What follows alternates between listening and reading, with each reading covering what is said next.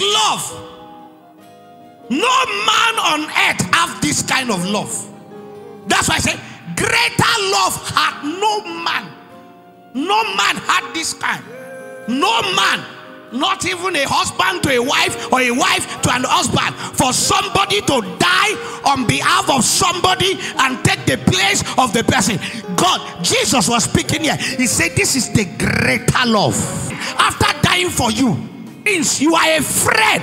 God is equating you to Himself.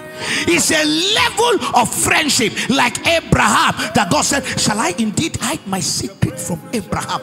A level of friendship. God sees you at this level, not as a servant, not even as a son, but as somebody that can reason with him. It is at this level that Moses had to preach repentance to God so that God had to repent from killing his children. He said, They will say you brought them out of Egypt to destroy them in the wilderness. And the Bible says, and God repented of his heart.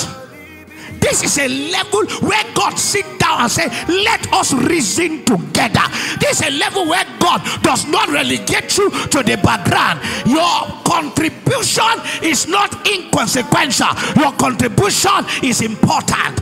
This is a level where you get to that your gardener can be an advisor, your driver can be an advisor, a usher can be an advisor, a gate man can be an advisor, a choir member can be an advisor. This is a level where anybody can become an inspiration to you because you understand if God can call you a friend, not a slave.